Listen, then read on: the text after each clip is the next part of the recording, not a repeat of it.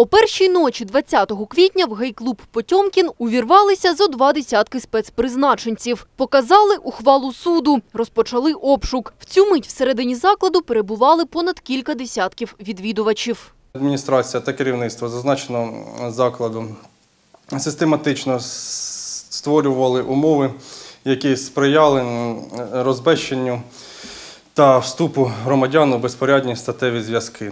э, инкриминирует, что мы создали точку разврата, что мы с людей берем деньги за вход и взамен предоставляем им здесь интимные услуги, возможность заняться сексом, какие-то секс-шоу программы, свингерские вечеринки, э, подкладываем там малолеток, не малолеток, то есть вот э, как будто мы бордель. На даний момент вирішується питання щодо повідомлення про підозру за частиною 2 статті 302 Кримінального кодексу України, тобто створення або утримання місця розпусти, а також звідниця. Санкція статті передбачає позбавлення волі строком до 5 років.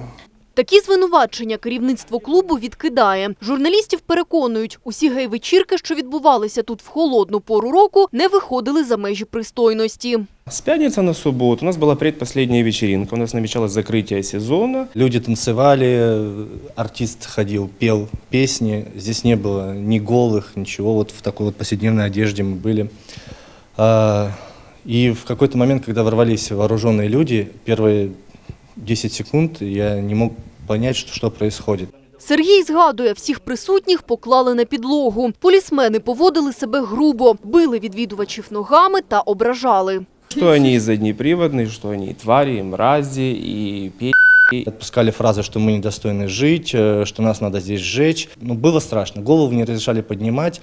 А Я подложил ладошки под лоб, потому что если ты лежишь на полу, тебя ударят ногой, ты разобьешь себе лицо.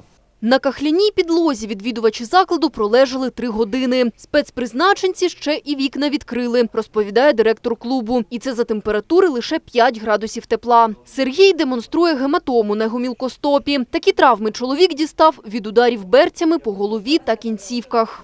Я зрозумів, що ударили ногой. Где-то в середине обыска сюда пришли еще пару иностранцев. Один из гомофобов в форме э, кричал «давай или пой гимн Украины, или ты сейчас останешься без зубов». Другого заставлял кричать «слава Украине». Врешті іноземці також стали потерпілими. На этом месте конкретно а, у- избили человека, нашего посетителя. Следы крови вот и на полу. У всіх присутніх люди в масках вилучили мобільні телефони.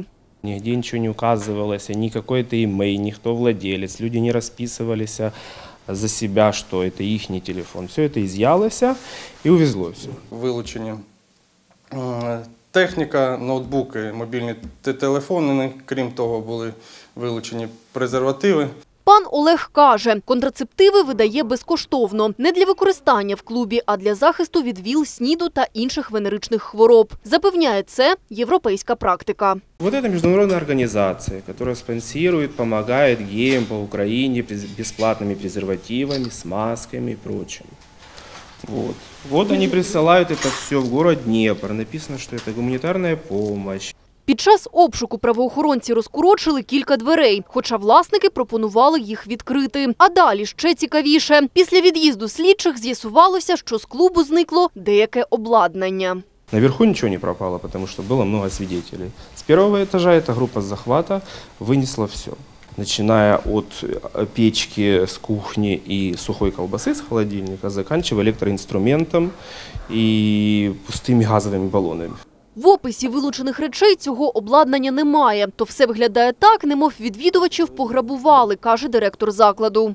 В основном у всех, у кого были айкосы, у всех ушли айкосы. У кого были куртки в гардеробе, сумки в гардеробе, все остались без денег. С куртки ушел и айпад, и деньги. Ценности у нашей сотрудницы забрали 2000 зарплату с другой работы. Спершу в клубі подумали, що замість поліції до них навідалися ряджені злочинці. Адже крім сумнівної ухвали суду, озброєні люди не показали жодних документів. Втім, згодом стало зрозуміло. Протиправні, на думку власників закладу дії, вчинили саме правоохоронці. В пошуках правди Сергій та ще кілька постраждалих звернулися до соборного відділення поліції. Представниця слідчого підрозділу до заявників поставилась упереджено. Было видно, что она не желает принимать у нас заявление. Она сказала, у вас был обыск, вы понимаете, э, если вы клевещете на сотрудников полиции, что вам за это будет. Я говорю, девушка, я, говорю, я понимаю, что рука руку моет, но это не я должен доказывать, что у меня украли, а вы должны доказать, что они у меня не украли это.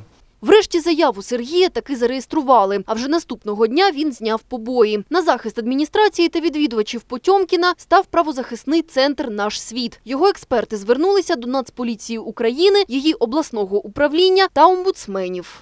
должны были быть применены санкции к владельцам помещения. Э, Те 20 с лишним человек посетителей, которые там находились, ни- никоим образом не могли подпадать под э, действие вот этого э, ухвалы на обшук. Они должны были быть э, привлечены как свидетели. То есть э, три часа лежать на холодном полу, это, на наш взгляд, э, соответствует нечеловеческому обращению или пыткам. правозахисний центр наш світ написав скаргу е, на ім'я ген- генерала. Буде проводитись службова роз- перевірка. Вона триває до місяця, і чи були порушення, чи не були, ми ще не готові сказати. Чи були порушення в діях підлеглих в обласній поліції поки що не коментують. Тим часом правозахисники налаштовані захищати права постраждалих у суді. Юлія Бублик, Олександр Височин. Новини 9 каналу.